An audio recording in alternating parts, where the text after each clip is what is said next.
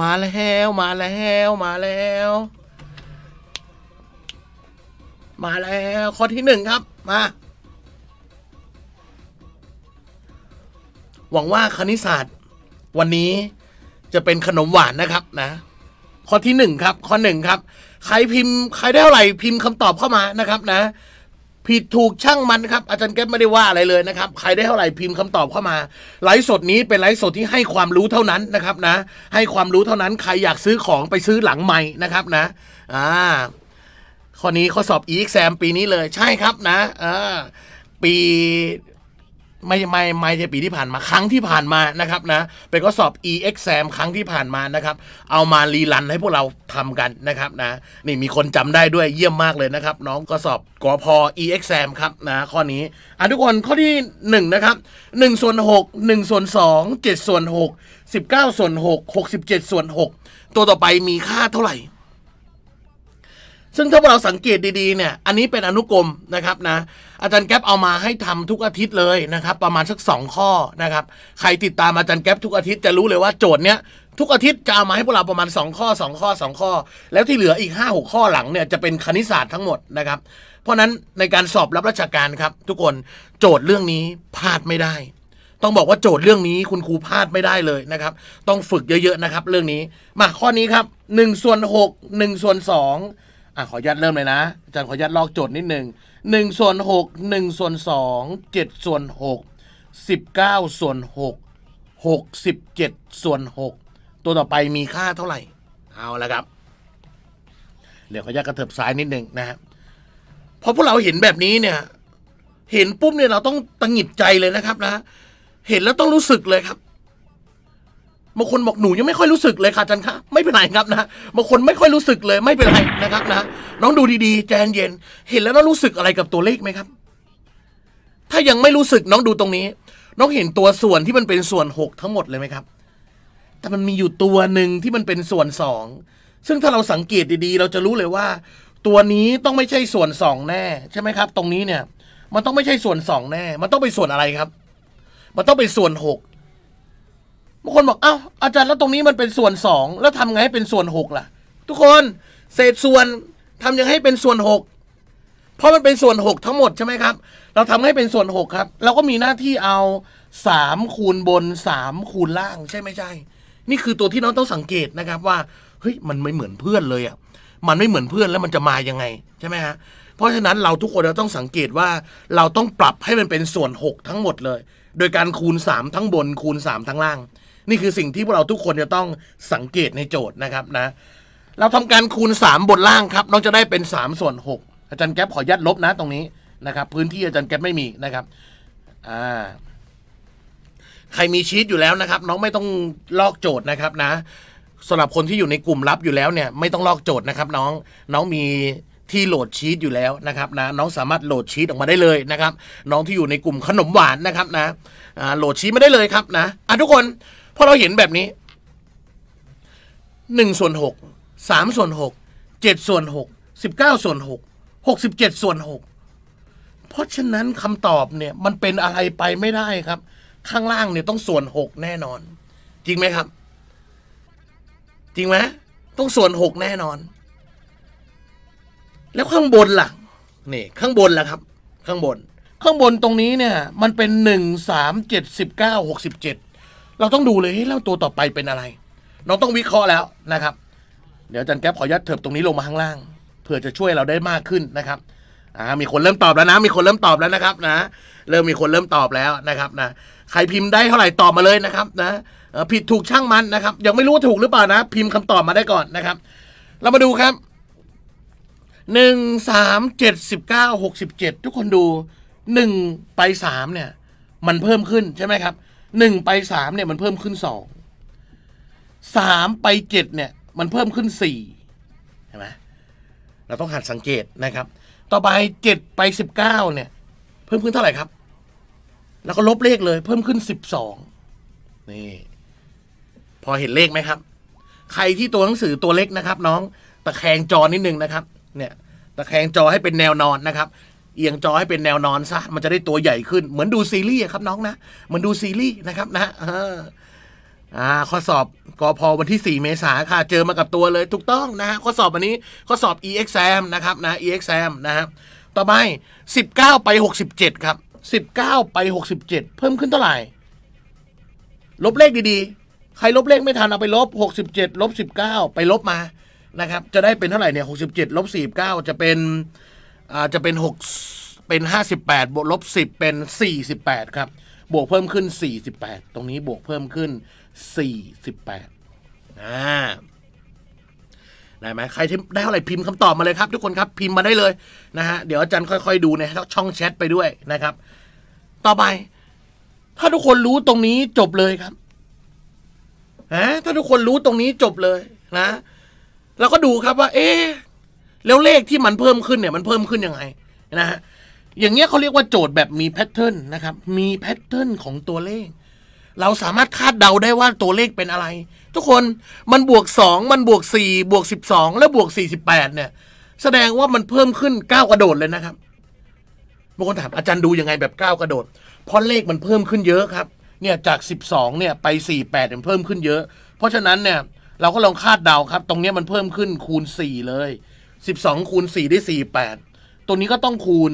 คูณสามครับทุกคนครับ อันนี้ก็ต้องคูณคูณสอง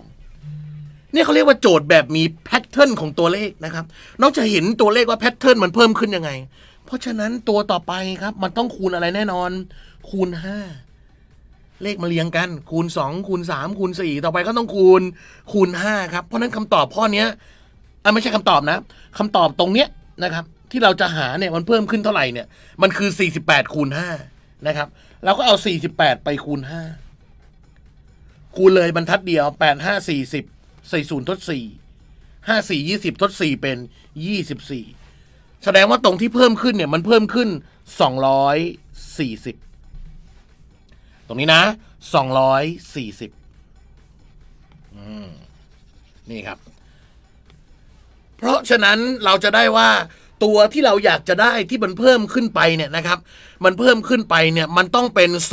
240 บวกกับ 67 นะครับ 240 บวกกับ 67 ตรงนี้นะครับคำตอบตรงนี้ต้องเป็น 240 บวกกับ 67คำตอบตรงนี้ต้องเป็น 307 ครับ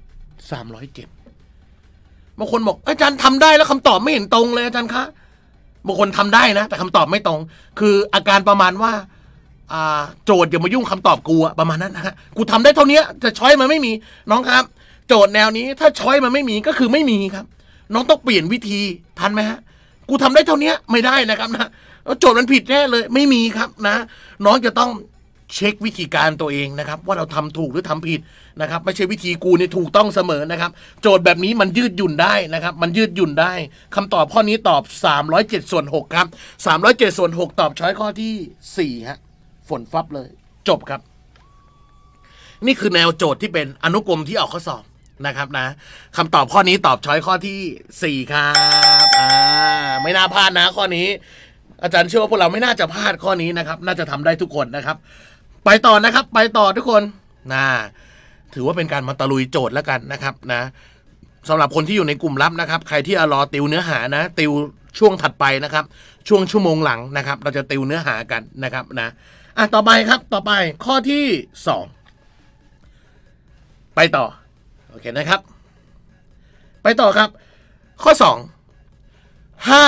ศูนย์สองเจ็ดเก้าสิบแปดตัวต่อไปตอบเท่าไหร่ อันนี้ก็เช่นเดิม อันนี้เป็น e-exam รอบล่าสุดครับนะข้อสอบแบบอิเล็กทรอนิกส์ครับของกอพอรอบล่าสุดนะครับห้าศูนย์สอง เก้าสิบแปดตัวต่อไปตอบเท่าไหร่ ถ้ารู้จบเลย นะฮะอ่า มีใครจะตอบไหมมีใครจะตอบไหมครับ ข้อนี้ อันดับแรกนะ ถ้าใครยังไม่ได้ฝึกคณิตศาสตร์มาเยอะหรือว่าประสบการณ์อาจจะไม่มากเนี่ยนะครับ สิ่งที่น้องจะต้องทำอันดับแรกคือการลองนะครับ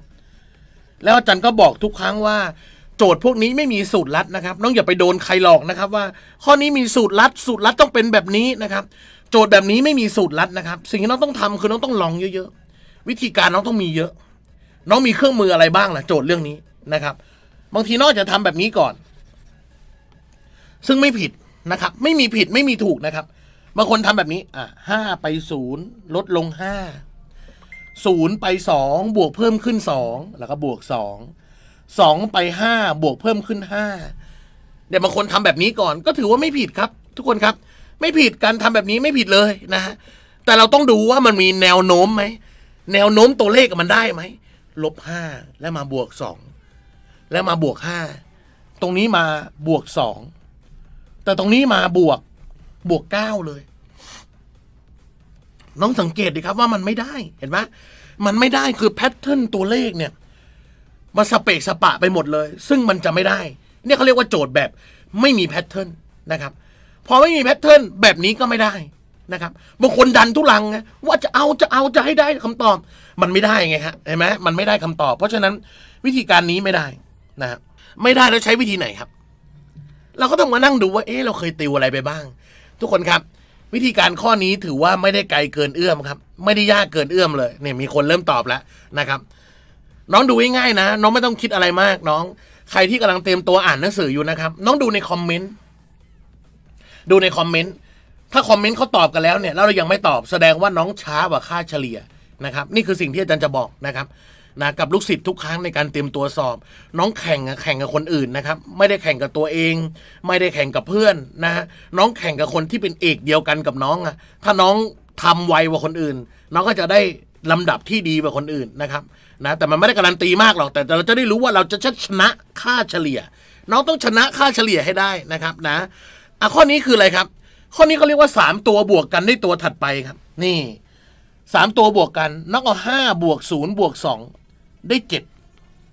เอาห้าบวกศูนย์บวกสองได้เจ็ดเอาศูนย์เอาสองเอาเจ็ดบวกกันได้เก้า นี่คือโจทย์แนวที่เป็นตัวเลขสามตัวบวกกันครับนี่เริ่มมีคนตอบแล้ว ตัวเลขสามตัวบวกกันนะครับนะ เพราะฉะนั้น เราต้องดูว่าตัวที่โจทย์ถามตรงนี้นะครับ เกิดจากอะไรครับ เกิดจากเลขสามตัวข้างหน้าของมันบวกกันสามตัวหน้ามีเจ็ดมีเก้ามีสิบแปดจับบวกกันเห็นไหมเนี่ยตรงนี้นะ ตรงนี้นะ เราก็ต้องเอาสามตัวก่อนหน้าของมัน จับบวกกันสามตัวก่อนหน้ามีเจ็ด มีเก้ามีแปดจับบวกกันนะครับเจ็ดบวกเก้าบวกแปดเจ็ดบวกเก้าได้สิบหกสิบหกบวกสิบแปดได้สามสิบสี่คำตอบตรงนี้คือสามสิบสี่ครับสามสิบสี่อ่า ดูย้อนหลังนะครับ ยังติวไม่ถึงเลยเพิ่งเข้ากลุ่มครับครูแก๊ปอ่าโอเคโอเคนะครับนะ แต่ที่น้องคอมเมนต์มันเนี่ยมันหน้าเพจนะครับนะมันหน้าเพจนะครับ น้องอัดดูดีๆนะ คนที่อยู่ในกลุ่มแล้วนะครับ น้องเหลือบไปดูว่าตอนนี้เราอยู่ดูที่ไหนอยู่นะครับบางคนกำลังดูหน้าเพจ Facebook อยู่นะครับนะฮะดูดีๆนะครับในกลุ่มรับชื่อกลุ่มขนมหวานนะครับนะ เออ อะคำตอบข้อนี้คือ 34 ครับคุณครูครับอ่าฝนฟับเลยคำตอบข้อนี้คือ 34 นะครับ ถ้าใครมีประสบการณ์เรื่องนี้อาจารย์ว่าไม่น่ายากสำหรับพวกเราเลยนะครับ เราน่าจะทำได้โดยไม่ยากนะครับ น่าจะเป็นคะแนนได้โจทย์แบบนี้นะครับนะอะจบไปแล้วครับ เอามาให้พวกเราทำทุกอาทิตย์นะครับทุกอาทิตย์หนึ่งทุ่มตรงเนี่ยเราจะมีนัดกันนะครับในการทำโจทย์พวกนี้นะครับสองข้อนะครับสำหรับอนุกรมนะครับ แล้วจบแล้วเหรออาจารย์ยังไม่จบครับอย่าเพิ่งปิดไลฟ์สดนี้นะครับ ยังไม่จบครับ ความรู้คณิตศาสตร์ภาคกอไม่ได้มีแค่นี้ครับ ใครเคยสอบจะรู้ว่า